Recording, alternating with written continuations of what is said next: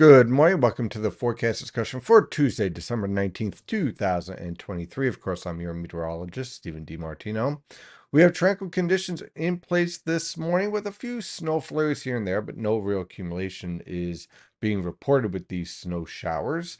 As cold air invades the area, with temperatures generally ranging from the lower to mid 30s over the northern interior, upper 30s to lower 40s along the coast. And really, those temperatures aren't going to be moving all that much the rest of the day as cold air filters into the region under a west northwesterly flow.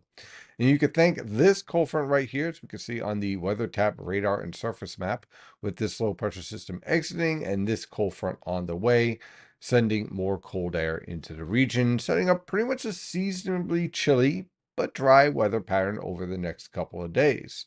We take a look at the infrared satellite picture. Again, not much really going on across the eastern half of the country. It's very quiet out there.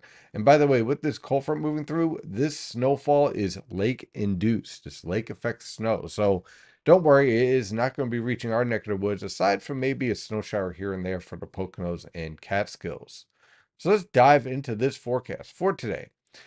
The cold front moves through with sky cloud cover, a flurry or two, temperatures rising very little into the lower to mid 30s over the northern interior and upper 30s to mid 40s along the coast. For tonight into tomorrow morning, look for clear skies with temperatures plummeting into the lower to mid 20s over the northern interior, mid to upper 20s along the coast. For tomorrow afternoon, sky cloud covered to clear skies with temperatures rebounding into the upper 30s to lower 40s over the northern interior and lower to mid 40s along the coast.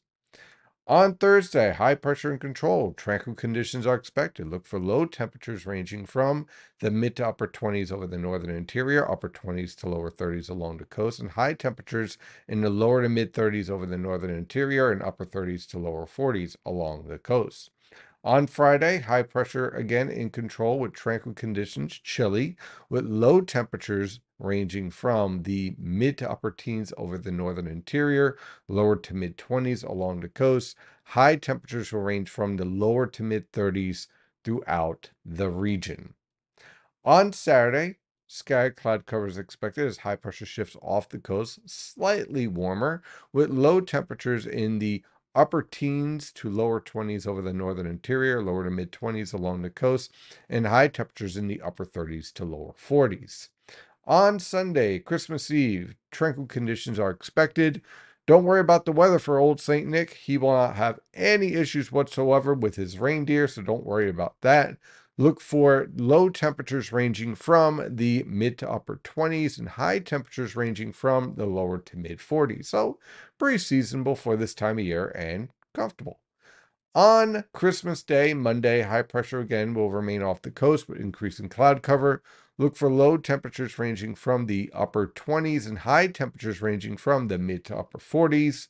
And on Tuesday, Sky cloud cover with the threat for increasing showers towards evening. Temperatures will range from the lower to mid 30s over the northern interior and upper 40s to lower 50s along the coast. That is your forecast discussion for today. Have a wonderful day, and as always, stay safe out there.